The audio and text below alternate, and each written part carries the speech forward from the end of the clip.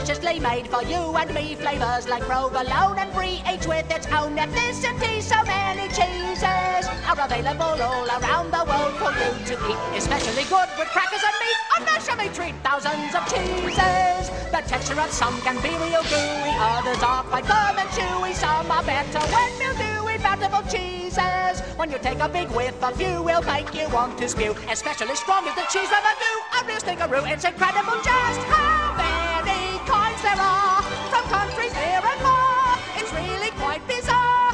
Now from the mouths of cheeses, big and small, we proudly present to you the cheese roll call. I am the British cheese Wensleydale, lightly pressed and smooth textured with a subtle milky flavour which is clean and refreshing. Welcome, Wensleydale! G'day! I am Australian Cheddam, an innocuous golden yellow rindus block inspired by cheddar and Edam.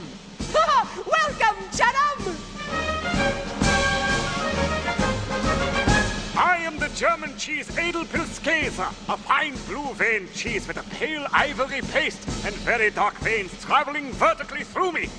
Welcome, Edelpoogie! Edelbel... Oh, welcome! Thank you, cheeses! I want to eat you all!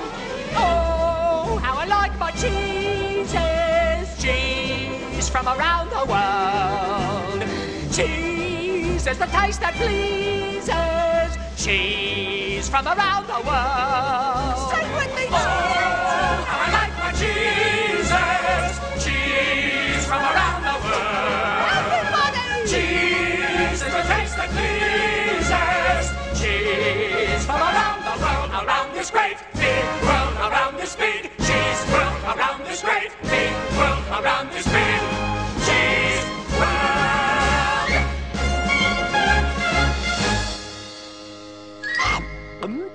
yummy! Laugh!